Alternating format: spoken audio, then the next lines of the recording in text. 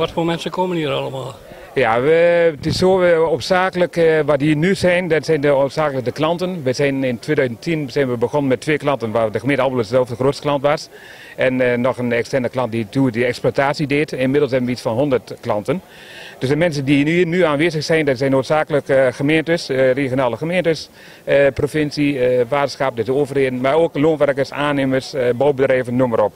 Overal waar, waar, de, waar grond vrijkomt, maar niet alleen grond, we nemen ook groenafval in en veegstand, dus ook dat nemen we nu in.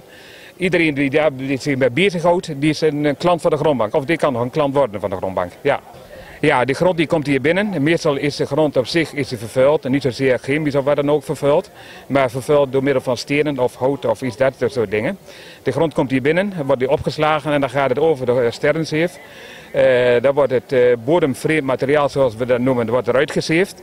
En dan blijft een product over, dat is de grond. Uh, hier onder de BRL mogen we dat samenvoegen tot 2000 ton. En dan wordt het gekeurd, APNO4 gekeurd. Het is eigenlijk de recycling van grond wat we hier doen. Wat dat betreft zijn we ook heel duurzaam bezig hier. Ja. Vroeger was het zo dat uh, die grond wat niet toepasbaar was. Nogmaals, door middel van stenen of grassoorten of wat er ook in zit, dan, ja, dan werd het ergens in de, aan de kant gegooid. Maar hier wordt het weer uh, toepasbaar gemaakt. Uh, we hebben straks een demonstratie, dan kunnen we hem laten zien hoe dat in zijn werk gaat. Maar hier maken we van grond, maken, ja, van grond maken we weer grond. Toepasbare grond, ja. ja. Uh, dan wordt het uh, bodemvreemd materiaal, zoals we dat noemen, wordt eruit gezeefd. En dan blijft een product over, dat is de grond. Uh, hier onder de BRL mogen we dat samenvoegen tot 2000 ton. En dan wordt het gekeurd, APNO4 gekeurd. En aan de hand daarvan, wat de uitslag daarvan is, zoeken we weer, weer afzet. En dat kan ook weer, weer ja, teruggebracht worden naar allerlei gemeentes en noem maar op. ja, voor hergebruik. Ja.